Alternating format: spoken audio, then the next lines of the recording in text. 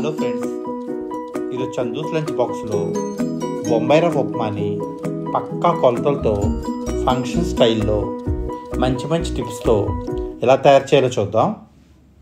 నాకు ఈ టీ స్పూన్తో రెండు టీ స్పూన్లు మరియు ఇంకో పావు టీ స్పూన్ సాల్ట్ పట్టింది. అంటే రెండు పావు టీ స్పూన్లు సాల్ట్ పట్టింది.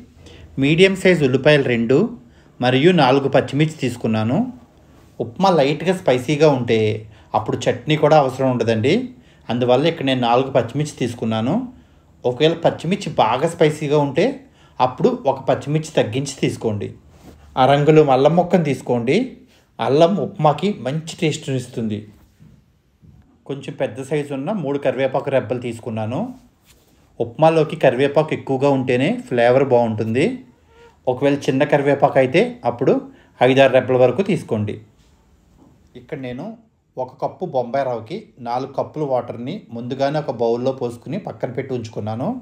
ఇది బాయిల్ అయిన వాటర్ కాదు నార్మల్ వాటర్ నాలుగు కప్పులు వాటర్ పోస్తే అటు మీకు లూజ్గాను లేకుండా అలాగే గట్టిగా లేకుండా ఉప్మా పర్ఫెక్ట్ కన్సిస్టెన్సీతో వస్తుంది.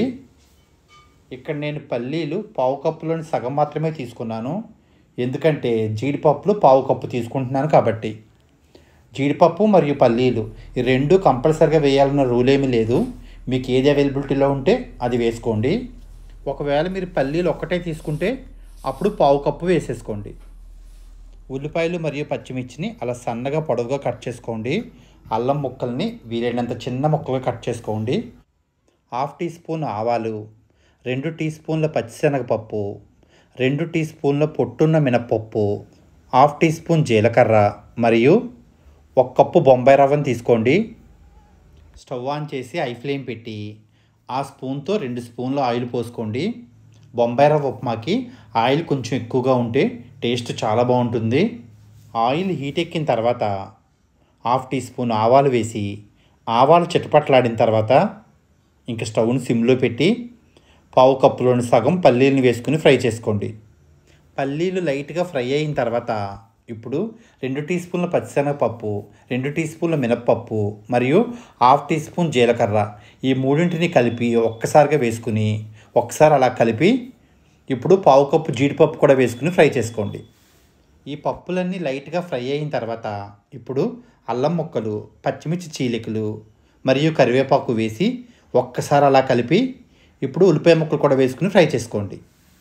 ఉప్మాలోకి ఉల్లిపాయలు మ్యాక్సిమం రెండు నిమిషాల కన్నా ఎక్కువసేపు ఫ్రై అవ్వకూడదు.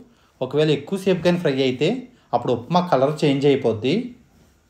ఉల్లిపాయ ముక్కలు రెండు నిమిషాలు ఫ్రై అయిన తర్వాత ఇప్పుడు నాలుగు కప్పులు వాటర్ని పోసి ఇంకా స్టవ్ని హై ఫ్లేమ్లో పెట్టి బాయిల్ చేయండి. ఒక్కసారి అలా కలిపి ఇప్పుడు మీ రుచికి సరిపడా సాల్ట్ని వేసుకోండి. నాకు ఆ టీ స్పూన్తో రెండు పావు టీ స్పూన్లు సాల్ట్ పట్టింది. సాల్ట్ వేసిన తర్వాత ఒకసారి బాగా కలపండి. ఈ వాటర్ ఎప్పుడైతే బాయిల్ అవటం స్టార్ట్ అవుతుందో అప్పుడు ఒకసారి టేస్ట్ చెక్ చేసి సాల్ట్ కానీ తగ్గితే కొద్దిగా సాల్ట్ వేసుకోండి. ఈ వాటర్ లైట్గా సాల్టీగా ఉంటే అప్పుడు బొంబాయి రవ్వ వేసిన తర్వాత పర్ఫెక్ట్గా సరిపోతుంది. సాల్ట్ సరిపోయిన తర్వాత ఒక చేత్తో బొంబాయి రవ్వని కొంచెం పైనుంచి అలా సన్నగా పోస్తూ ఇంకో చేత్తో గరిటిని అలా స్పీడ్గా తిప్పుతూ ఉండాలి. మీరు రవ్వని ఒక్కసారిగా పోసేసిన లేదా గరిటిని గిన్నంతా తిప్పకపోయినా ఉండలు కట్టేస్తాయి.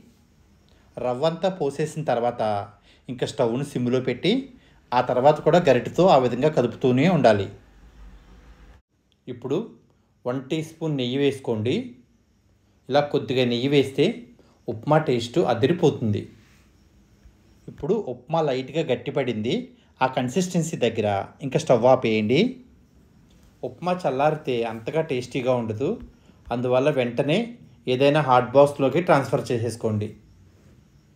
నా చిన్నప్పుడు ఫంక్షన్స్లో ఉప్మాలో టమాటా కొత్తిమీర మరియు ఎటువంటి వెజిటబుల్స్ వేయకుండా ఇదే స్టైల్లో చేసేవారు.